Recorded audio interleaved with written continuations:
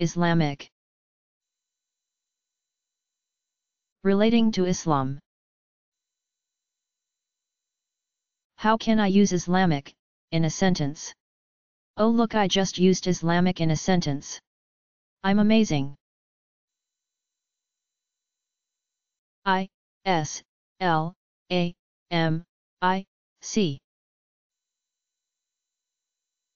Islamic